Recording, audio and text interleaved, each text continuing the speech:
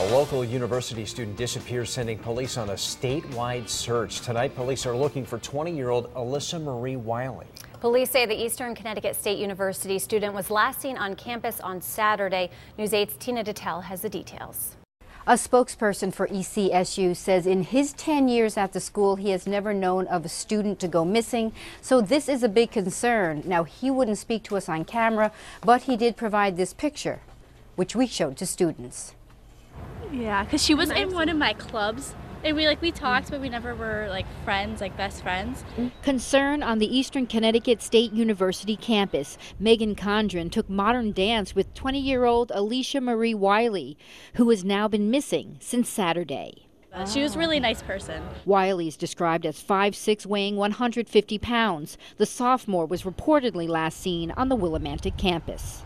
I'm really concerned. I mean, I think we should have found out about this a long time ago. Mm -hmm couple days after it happened. It wasn't until 1 o'clock Wednesday afternoon that police here on campus were notified Wiley was missing, and now the search is on. State police have brought in canine units to try to track her down.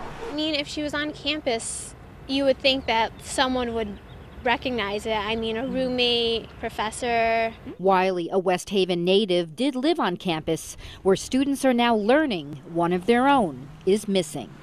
It is scary. I mean, we don't know what happened to her, if it was by choice or if something bad happened to her. I mean, I guess everyone's pretty scared right now.